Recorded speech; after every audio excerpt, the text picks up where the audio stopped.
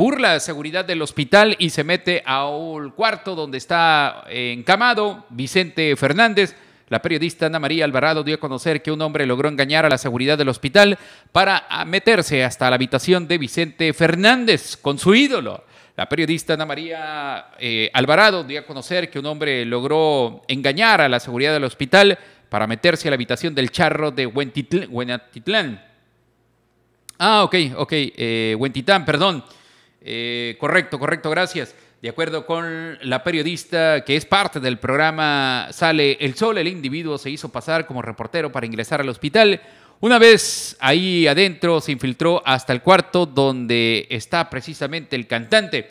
Este incidente ocurrió luego de que los médicos revelaran una leve mejoría de don Vicente, quien parece estar presentando avances favorables en su estado de salud.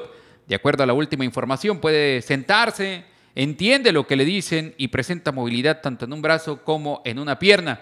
Fue el día de ayer en las afueras del Hospital Country 2000 de Guadalajara que se armó tremendo zafarrancho luego de que el hombre se metió hasta la habitación de don Vicente Fernández.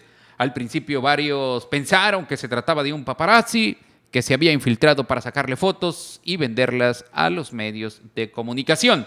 Pero el hombre tenía otra intención, pues lo único que quería era darle un remedio casero al cantante para curarlo. De acuerdo al canal El Precio de la Fama, eh, blog de noticias del espectáculo de Ana María Alvarado, una vez aclarada ya la situación, se redoblaron esfuerzos en la seguridad del perímetro de la zona para evitar otro susto de esta magnitud a la familia.